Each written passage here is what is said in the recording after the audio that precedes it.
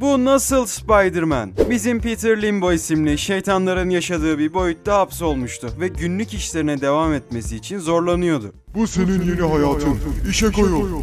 Aman tanrım. Daily Bugle'a işe giderken köpek balığı kafalı manyak bir herifin Rekrap'a saldırdığını gördü ve onun hayatını kurtardı. Bu saatten sonra Rekrap Peter'a hayran olmuştu. Parker Pittman. Hemen bir Spider-Man tişörtü giydi ve şeytanların oluşturduğu zalim altılıya katılmaya çalıştı. Kendine Parkerman diyordu ama kabul edilememişti. Çünkü kahraman olduğunu anlamamıştı bile. Kendini kötü zannediyordu. Parker adam geri dönecek. Soluğu büyücü abisinin yanında bulan Rekrap güzel bir teklif aldı. Simbiyot vereyim mi? Olur.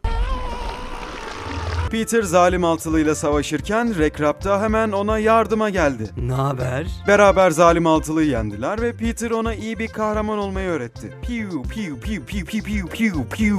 Ee,